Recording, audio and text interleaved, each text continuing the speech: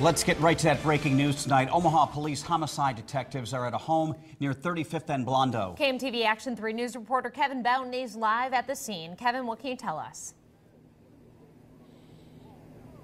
Jenny, the scene is calm now, but the investigation is underway after one man was found dead inside of a home in the middle of the block here on Blondo between 35th and 36th.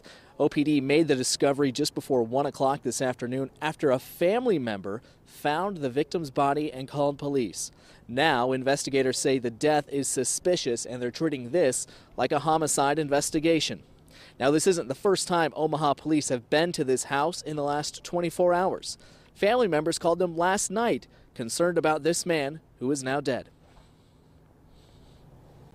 Uh, there was a call last night for a check the well-being call Officers were not able to make entry into the home at that time. There were not any uh, circumstances that indicate that they could breach and, and make entry.